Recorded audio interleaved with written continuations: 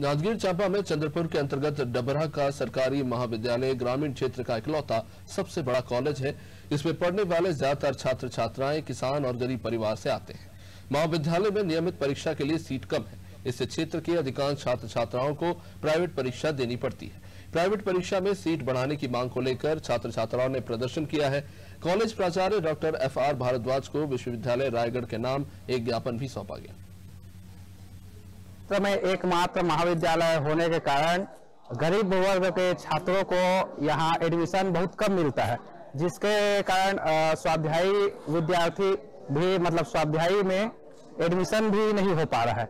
जिसके स्वाध्यायी में एडमिशन नहीं हो पा रहा है, इसके कारण हमने आज प्राचार्य के हाथों विश्वविद्यालय को ज्ञापन सौंपा है, जिसमें हमने सीट बढ़ाने की मांग की है। शासकीय महाविद्यालय डफरा हमारे क्षेत्र का सबसे बड़ा महाविद्यालय है। यहाँ विभिन्न प्रकार के विभिन्न वर्ग के लोग पढ़ने आते हैं। जिसमें स्वाध्यायी सीट का सीट बहुत कम मात्रा में है। अतः शासन से निवेदन है कि ज़्यादा से ज़्यादा सीट बढ़ाएँ। देहात का एकमात्र शासकीय महाविद्यालय है।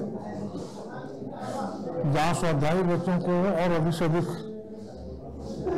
सीट मिलना चाहिए, उतना सीट नहीं मिल पाया है।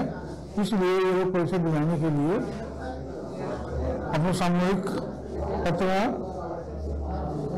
विज्ञप्ति महाविद्यालय में जमा किए हैं। इस आवेदन को हम लोग शहीद मोहन कुमार पटेल विश्वविद्यालय रायगढ़ और शासन तक पहुंचाएँगे और ज़्यादा से ज़्यादा सीट संख्या बढ़ाएँगे। महाविद्यालय की जितनी क्षमता है उसके अनुरूप और बच्चों को ज़्यादा से ज़्यादा लाभ मिल सके ऐसा प्रयास करेंगे ताकि जात